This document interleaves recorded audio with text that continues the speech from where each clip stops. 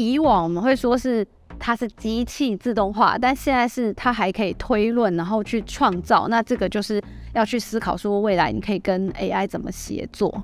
我天天这个工作，我不知道为什么，这不是我的理想，这不是我的目标，这没办法实现我自己。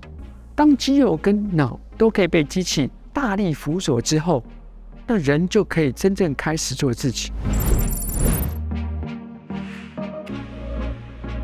去年有电视台的同仁丢给我一本书，叫《二零三零工作地图》，那里面他就开始挑战，就是说。有什么东西是可以被 AI 取代？它里面讲了很多，连创意工作者都可以。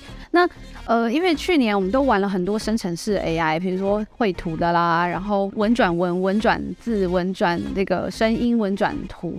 那这个时候大家就会思考说：难道它会取代创作者吗？不会。但是我现在可以透过给他指令，做出一张 poster 海报。那我需要的能力是。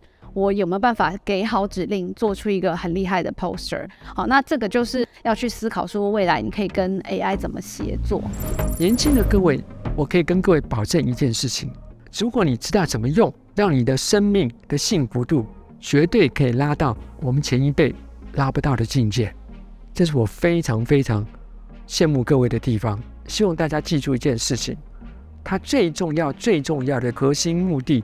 并不是让我们升官发财、名利双收，因为到了 AI 的社会以后，因为生产力够的时候，大家都有足够的财富去做自己想做的事情。但是有一个东西是做不到的，就是我们怎么样彼此对自己更好一点。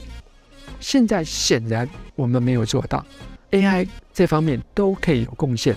有这些工具以后，希望大家记住这件事情。最后的目的就是我们彼此对彼此。更好一点。